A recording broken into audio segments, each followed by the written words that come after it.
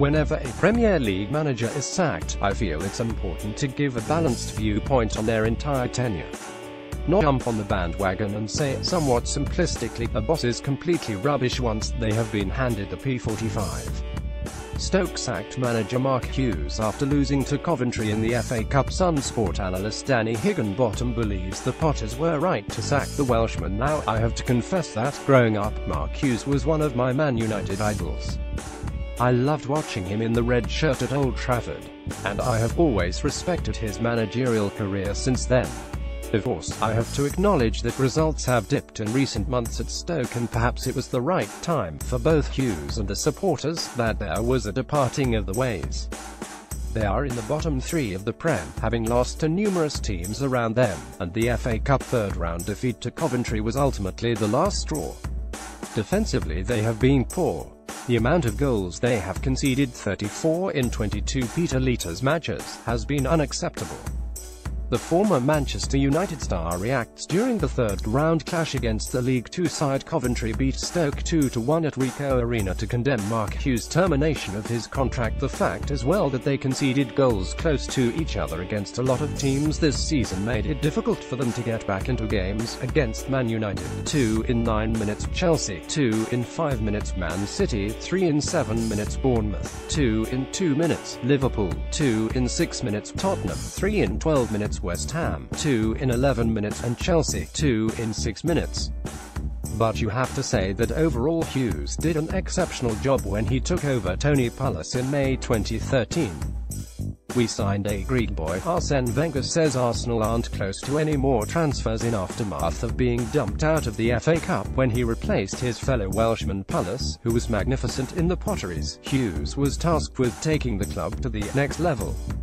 Well, he achieved that with three successive ninth-place finishes in the Prem.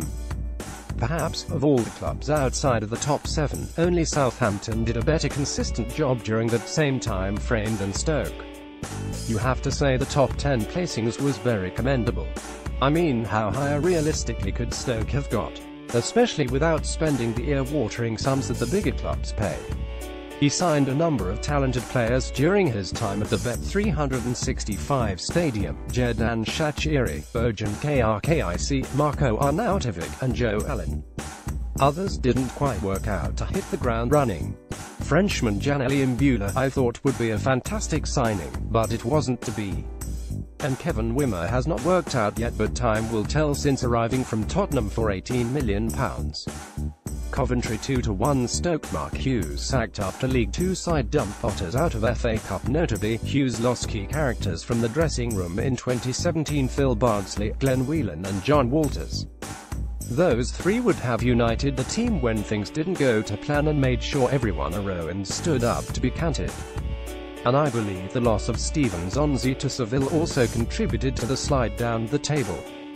Remember, Hughes tried to change the style of direct and robust play at the club that Pulis had been famous for. At times, it worked.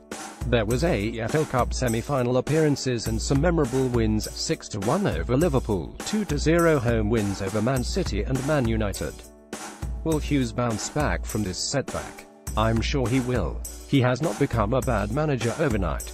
Stoke players looked dejected after the full-time whistle as they bowed out of the FA Cup. Xherdan Shaqiri walks off the pitch as his side lost against the Sky Blues for the new guy coming in. The objectives are simple, to stabilise results and survival. Stoke need to get back to basics and become hard to beat once again. Relegation would be a disaster in my opinion. The championship is full of bigger clubs who have got stuck and been out of the top flight for years.